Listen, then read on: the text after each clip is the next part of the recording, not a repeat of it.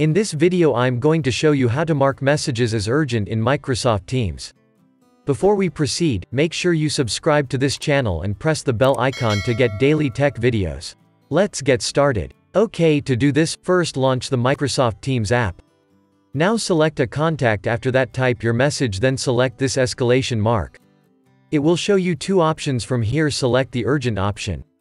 Finally send the message. Now the user will be notified for this message as urgent every 2 minute for the next 20 minutes, until he checks the message. That's it guys, this is how you can mark a message as urgent in Microsoft Teams.